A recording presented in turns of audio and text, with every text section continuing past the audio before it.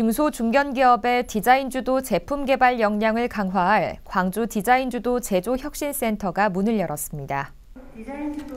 산업통상자원부와 한국디자인진흥원은 전국에서 다섯 번째로 광주 첨단에 디자인주도 제조혁신센터를 마련하고 개소식을 가졌습니다.